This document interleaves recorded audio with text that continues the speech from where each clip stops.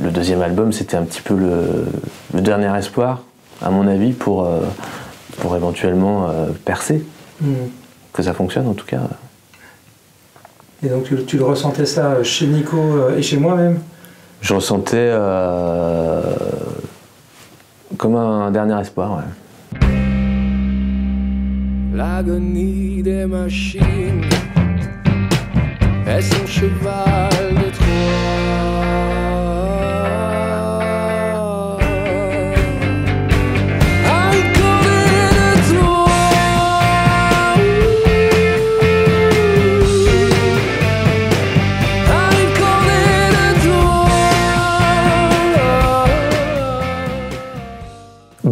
toutes et à tous, bienvenue dans l'avant-dernier vlog du projet Hashtag En toi je vois demain que nous avons commencé il y a un an. Une année qui est passée tellement vite et qui m'a paru si longue. Mais ainsi vont les choses, elles ont une fin et nous allons tous ensemble essayer de la savourer. D'abord, un petit mot sur Tequila Story et Nicolas Cadou qui nous a livré une superbe prestation tout en sensibilité de Tequila. C'est beau, doux, guitare-voix, et l'espace d'un instant, on pense à un Julien Doré. Quoi qu'il en soit, un gigantesque merci à Nico, qui est par ailleurs un tipeur du projet Hashtag Antoine Je vois demain, donc autant dire qu'il mérite vos pouces bleus et vos partages de sa vidéo. Nous avons reçu d'autres vidéos Tequila Story, si bien que vous pouvez vous attendre à ce que nous en diffusions plusieurs chaque semaine avant la fin du projet. D'ailleurs, cela va commencer sans doute dimanche avec une version d'un des interviewés du projet Hashtag Antoine Je vois demain. Je vous laisse la surprise. Modification des consignes sanitaires, sachez que nous terminerons donc le projet non pas par le concert parisien initialement prévu, il est décalé à l'année prochaine, mais par une FAQ en live streaming sur la chaîne YouTube, à l'image des autres FAQ que l'on vous a proposées en forme de bilan pour chaque phase de ce projet. La date est arrêtée, c'est celle du vendredi 20 novembre à 20h. Comme d'habitude, nous reviendrons sur la fin de la phase 5 qui s'achève, nous évoquerons les paroles des chansons de Nico qu'il a interprétées dans les lives et dont nous n'avons pas pu parler dans les vlogs, mais surtout, nous répondrons avec Nico à la question initiale. Pourquoi? Voilà, notez bien cette date dans votre agenda car c'est le moment à ne pas louper. On veut vous voir en streaming, présent dans le chat, nous poser vos questions, euh, nous envoyer des messages d'amour parce qu'on en a besoin aussi. Et puis, euh, on vous renverra l'appareil, évidemment. Je vous laisse avec Nico, Romain et Félix pour évoquer la fin inéluctable du groupe Saro. Un moment poignant évidemment, mais ainsi est l'histoire de Nico Saro, l'artiste maudit du rock français. Mettez-nous des pouces bleus, partagez la vidéo sur vos réseaux sociaux, abonnez-vous à la chaîne YouTube et cliquez sur la cloche pour être averti des prochaines vidéos. Si vous souhaitez nous donner un coup de main financier sur le projet, c'est le dernier mois pour le faire. Donc si vous en avez les moyens et l'envie, c'est le moment ou jamais, on compte sur vous. Merci et à la semaine prochaine pour le dernier vlog du projet hashtag En toi je vois demain. Le studio s'était super bien passé avec Romain, on était très content de son, travail, hein. euh, on pouvait pas espérer mieux en termes de son, en termes d'énergie, euh, de jeu, enfin tout, euh, on a vraiment fait l'album qu'on voulait. Après derrière, bah, ce qui était compliqué, c'était de plus en plus difficile de trouver des dates. Ça a fonctionné un temps, puis après ça s'est vraiment épuisé. Et je crois que Romain aussi galérait de son côté pour trouver des dates avec ses autres formations. Enfin bref, c'était quand même pas une période très facile, ni pour lui ni pour nous. Et du coup, c'est là qu'il nous avait dit, bah écoutez les gars, mais moi, il faut que je trouve des groupes qui tournent un peu plus ou qui, qui, ramènent plus de, dates intermittentes, hein, en fait, euh, pour avoir le cachet. Et nous, on faisait beaucoup de dates euh, en bar, bar-concert, des choses comme ça, et du coup, euh, c'était difficile. Et puis je pense que Romain aussi, même s'il aime bien le rock, je pense qu'il avait peut-être plus envie de s'investir dans, des trucs peut-être qui lui correspondait plus, tu vois, genre plus funk. Euh. Après, je peux me tromper, mais euh, on en a jamais vraiment parlé. Mais je, pense qu'il aimait bien jouer avec nous, mais c'était pas vraiment euh, son style de zik au départ, quoi. Même s'il le faisait très très bien et que, tu vois, c'était nickel. Félix était revenu vers nous après quand même, après l'album en fait, surtout. Quand il avait écouté l'album et que, tu vois je pense qu'il avait pris sa petite claque, le père Félix. tu vois, il fait tout le job euh, de concert, de voyage, de, tu vois.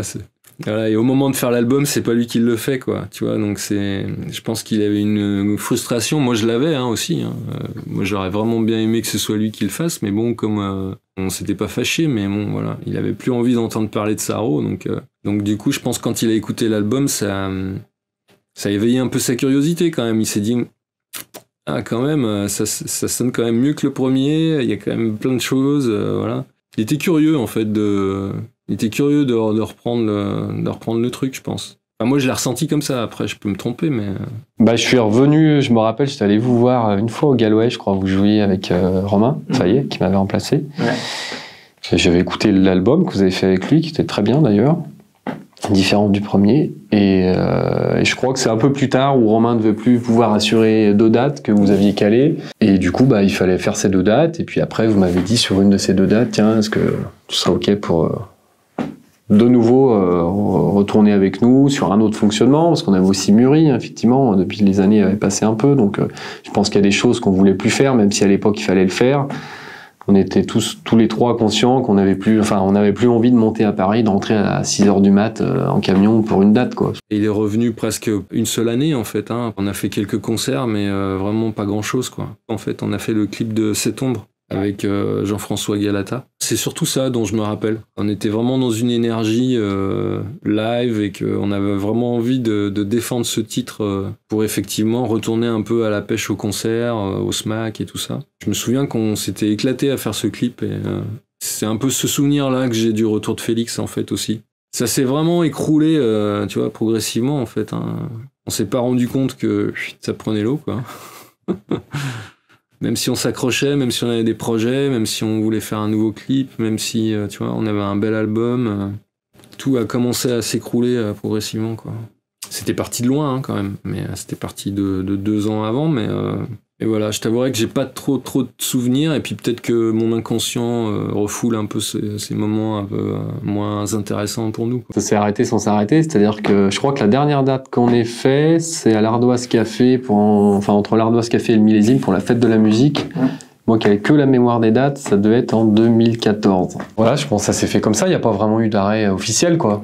Mais personne n'a dit bon écoute, euh, j'en ai marre, on arrête le groupe. Nico nous a pas dit ça en fait, ça s'est arrêté euh, parce qu'on s'est plus vu quoi. Puis que chacun était reparti à d'autres occupations. Voilà, on s'est jamais dit qu'on arrêtait en fait, hein, je pense. Je me souviens pas vous avoir dit bah les gars on arrête quoi. J'avais plus de temps en fait. Puis après, en fait, Nico avait déménagé déjà. Je crois que vous déménagez cette période-là. Entre les voyages, les allers-retours, les machins, je crois qu'on avait fait quelques répètes euh, un peu, tu vois, où je venais, mais c'était chiant, quoi. Je me souviens qu'à la fin, c'était chiant. Moi, je, toi, une heure et demie de trajet, c'était, c'était lourd, quoi. D'abord, euh, fait les travaux dans ma maison. Après, je me suis attaqué au studio. Pendant que je faisais ça, j'ai pris un job à côté euh, pour assurer quand même. Enfin bref, voilà, toute cette période-là, je touchais plus, je touchais plus terre. Quoi. Et après, on a tous été euh, papa en même temps, quasiment.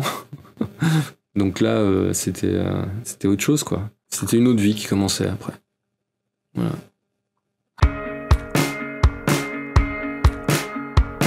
C'est quoi le meilleur souvenir, ou les quelques meilleurs souvenirs que tu as avec Saro C'est vieux maintenant.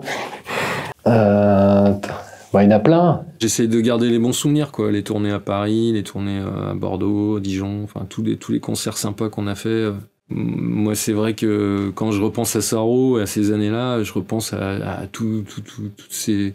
Quand on prenait le, vieux camion et qu'on partait tous les quatre. Euh. Avec Gogo qui conduisait, qui nous réveillait quand il tournait le volant sur l'autoroute. Tu dors, Gogo? Oh, non moi, c'est ça dont j'essaie de me rappeler, tu vois, c'est ces moments-là.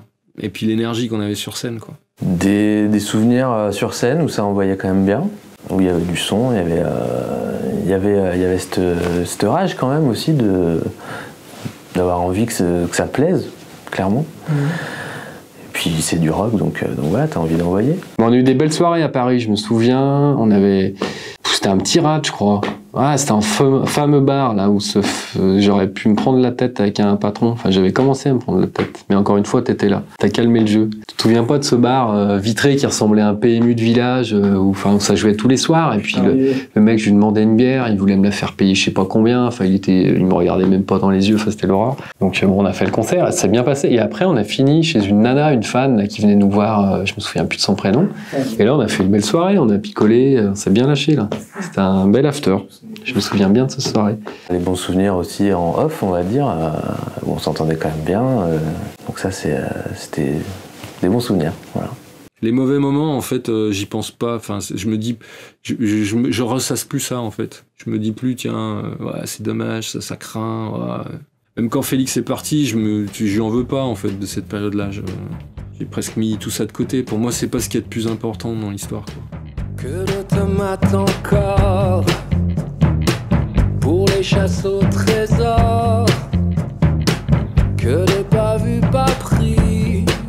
Mais tu te souviens pas de ce concert? Et on jouait et tout, puis on avait l'impression qu'on avait joué, que les gens n'avaient rien à cirer, quoi. Pourtant, on avait envoyé, nickel. Et avec des nanas, enfin peu de mecs, mais beaucoup de meufs. Puis c'est après coup, on s'est dit, mais en fait, on est dans un bar lesbien, là. Puis après, il y avait un autre groupe, c'était des nanas, je crois, qui jouaient. Et là, ça a cartonné. Puis nous, bah, on était trois pélos au bar à tchatcher entre nous, et puis terminé. On est reparti la queue entre les jambes. on a été se coucher. fin du bal.